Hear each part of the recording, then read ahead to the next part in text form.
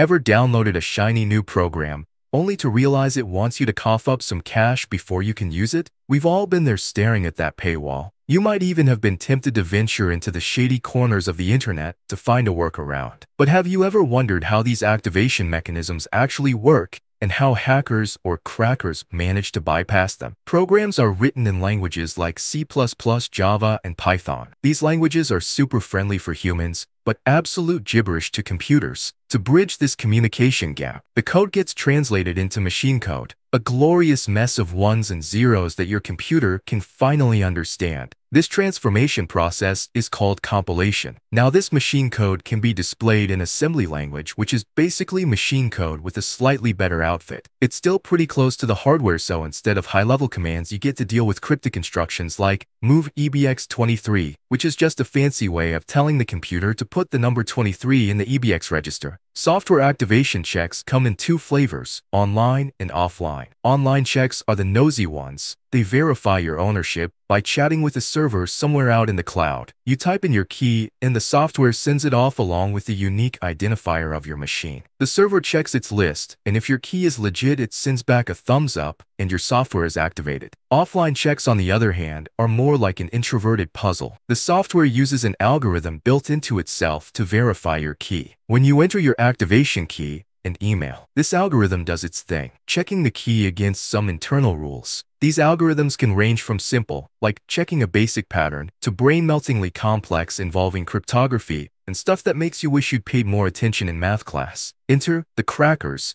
who make it their mission to bypass these activation mechanisms. They use reverse engineering, which is a fancy term for taking the software apart to see how it ticks. To do this, they wield tools like disassemblers and debuggers. Disassemblers turn machine code back into assembly language, making it slightly more readable. Debuggers let crackers run the software step by step, pausing at will, to poke around and see what's happening under the hood. The process usually starts with the cracker hunting down the activation code, often by searching for telltale strings like invalid key or activation required. Once they've found the code, they study how it works. This might involve checking specific bytes, calculating a checksum, or decrypting some data. After understanding the activation process, they tweak the code to bypass it. This can mean replacing critical instructions with NOP, no operation commands, or changing conditional jumps to alter the program's flow. With the code modified crackers, create a patched version of the executable, often distributing it alongside the original installer. Users then replace the original executable with the patched one, and they've got a free, albeit illegal copy of the software. But software developers aren't just sitting around twiddling their thumbs. They've got tricks up their sleeves to make reverse engineering harder. Code obfuscation makes the code look like a tangled mess of spaghetti. As an example, I'm going to crack a reverse engineering CrackMe program. Just a heads up, these CrackMes are made specifically to be cracked. They're not real programs. They're designed for this purpose. I'll be working on a CrackMe called Pride Crack C by Pride.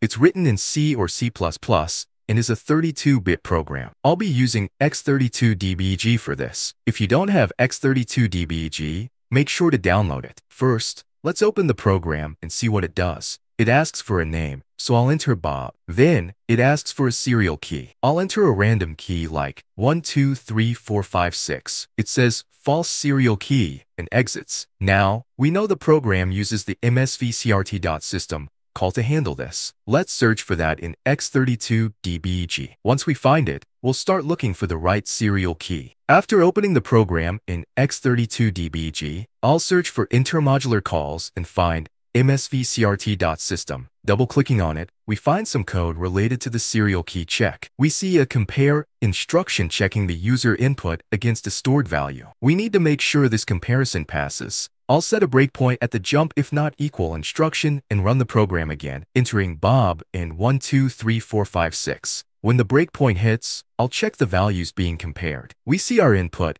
123,456, being compared to a stored value. The stored value is calculated using the length of the name and some arithmetic operations. Let's find out how this value is derived. The name length is stored in the EAX register and some operations are performed on it. I'll use Python to recreate this calculation. Let's assume a name with five letters, like bread. The length is 5, and we add 0xCA to it, then XOR with 0x3D8D40F. Here's the Python code to generate the serial key. The generated key can now be used. I'll restart the program, enter the name bread, and use the generated key. It works, and that's how we crack this program using X32DBG. Now here's the serious part. Using cracked software is illegal and it's risky. You could face legal consequences and cracked software often comes with unwanted bonus features like malware. Plus you miss out on support and updates leaving you vulnerable to bugs and security vulnerabilities. So while the technical wizardry behind bypassing software activation is undeniably fascinating, it's best to stay on the right side of the law. Thanks for tuning in, and as always, stay safe.